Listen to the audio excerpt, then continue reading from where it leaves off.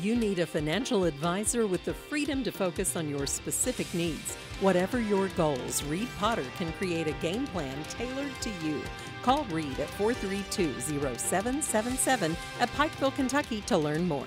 On Friday, October 20th, Pikeville Fire Department hosted their second annual Firefighters Ball at the Overlook Events Center. More than just an evening of socializing, the ball is a celebration of the department members and those who gave the ultimate sacrifice. Mountaintop News spoke with Pikeville Fire Chief Johnny Cole to learn more. This is amazing turnout. Seeing all these people, all these brothers and sisters throughout our community, uh, people that we work with and we serve, it's been amazing just to see their faces and have a smile, have a laugh, have a cry. So what we're doing is we're honoring those ones that passed before us in the line of duty days. Uh, that's what's going to be on our firefighter memorial. Is these names that's listed. We have a uh, piece of paper that's laminated on each table, so they know who they're actually remembering and how they passed away in the ultimate line of duty sacrifice.